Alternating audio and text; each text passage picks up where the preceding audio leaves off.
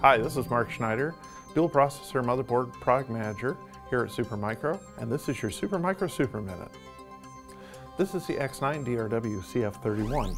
It features dual E5 2600 V2 processors, 512 gigs of RDIMM in 16 DIMM slots, or UDIMM or LRDIMM. One of the outstanding features of this board is the LSI 3108 add-in module. This supports up to 8 SAS3 ports at 12 gigabits per second, as well as supporting 2 gigs of onboard cache and a super cap for um, power backup.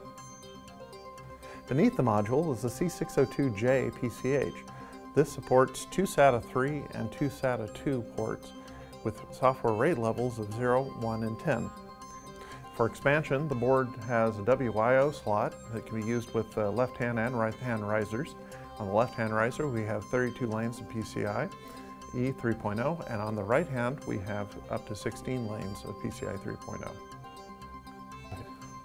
For back panel I.O., it features two 1 gig LAN ports with an option to upgrade to 10 gig base T, as well as four USB 2 ports, an IPMI management port, and a VGA port for IT management.